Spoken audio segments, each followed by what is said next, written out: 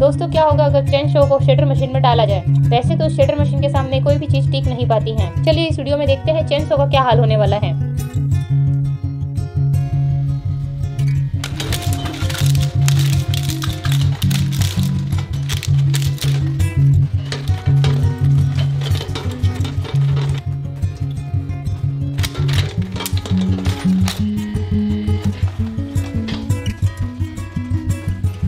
तो guys result जो है वो आपके सामने है।